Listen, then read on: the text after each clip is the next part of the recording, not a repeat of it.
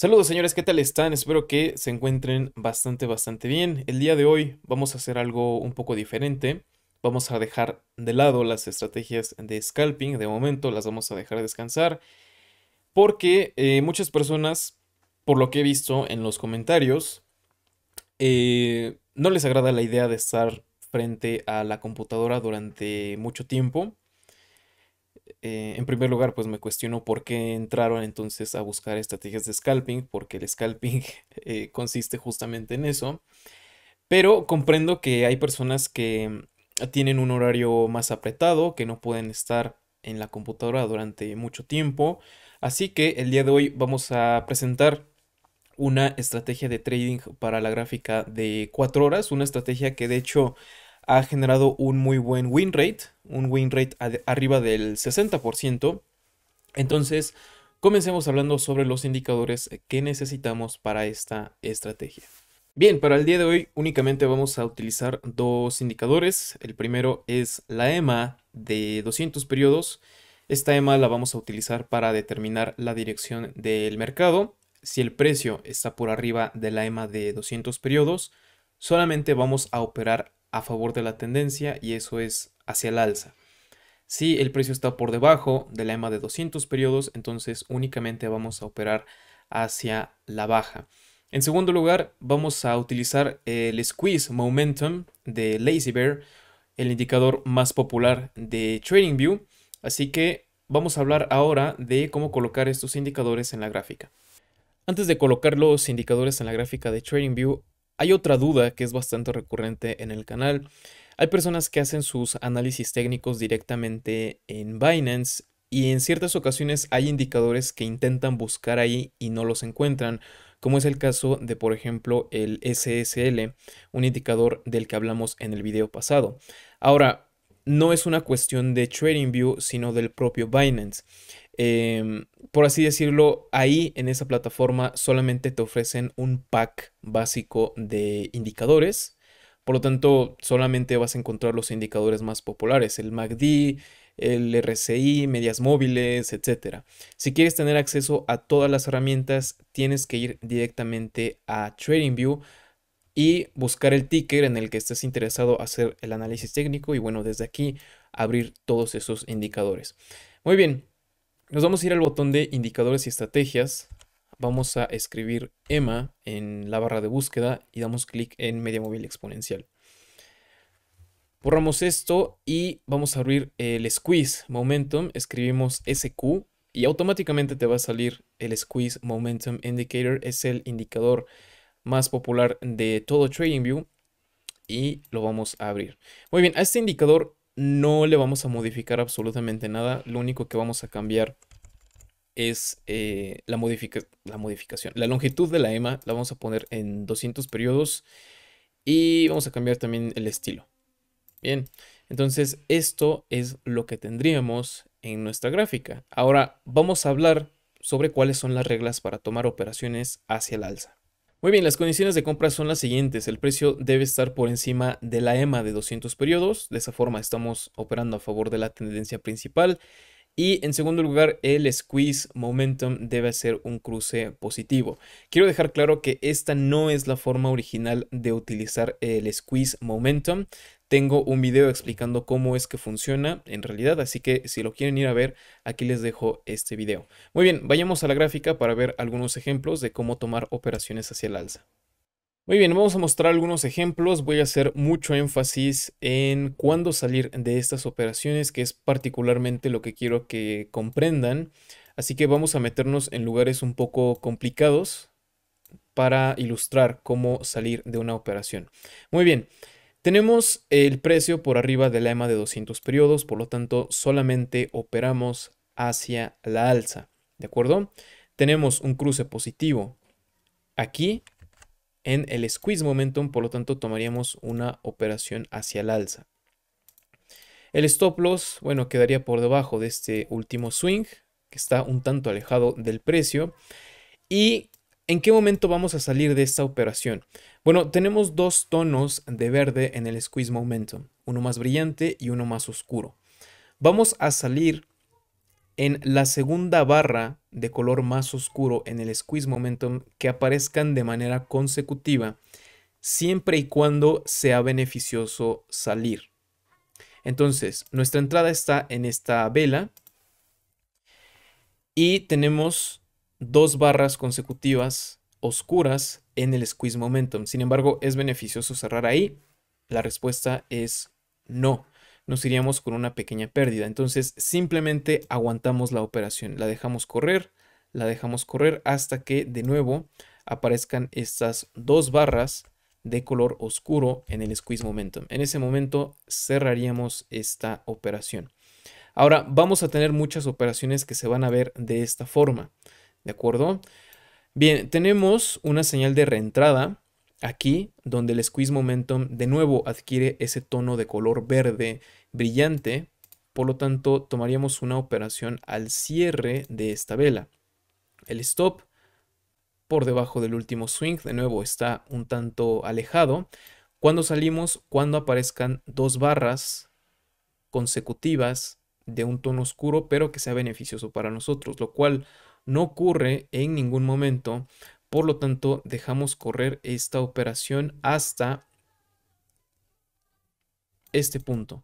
Aquí es donde tenemos dos barras, dos tonos oscuro en el squeeze momentum, por lo tanto cerraríamos aquí. Bien, espero que vayan entendiendo em, otros dos ejemplos, ¿vale? Aquí tenemos una operación hacia el alza, de nuevo, que va a ser una operación perdedora. Esto queda por debajo del último swing. Tenemos un movimiento muy fuerte hacia la baja, entonces esto hubiera sido una operación perdedora. Y después tenemos otra señal aquí. Entramos aquí. El stop loss por debajo del último swing. Cuando cerramos, cuando aparezcan dos barras de tono más oscuro en el squeeze momentum. ¿Vale? Como digo, vamos a tener muchas operaciones en donde de hecho estamos arriesgando un poco más de lo que estamos aspirando. Em, pero también la estrategia tiene la capacidad de agarrar algunos movimientos grandes. No tanto como el SSL, pero aún así te puede agarrar movimientos de relación riesgo-beneficio de 1 a 5, 1 a 6. Entonces esto quedaría más o menos por ahí el stop cuando sales en la segunda barra consecutiva de tono oscuro. ¿Vale? Cerrarías más o menos, no es un poco más, más arriba. Sería ahí, más o menos. Muy bien, señores. Ahora vamos a pasar a la contraparte, cómo tomar operaciones hacia la baja. Muy bien, para operar hacia la baja queremos ver el precio por debajo de la EMA de 200 periodos y por supuesto después de eso el squeeze momentum debe ser un cruce negativo, así que vamos a la gráfica para ver más ejemplos. Muy bien, tenemos esta zona donde el precio rompe por debajo de la EMA de 200 periodos. Además, el squeeze momentum nos dice que hay fuerza hacia la baja, entonces abriríamos una operación al cierre de esa vela.